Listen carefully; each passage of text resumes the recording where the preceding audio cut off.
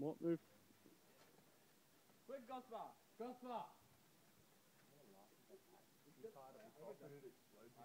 No!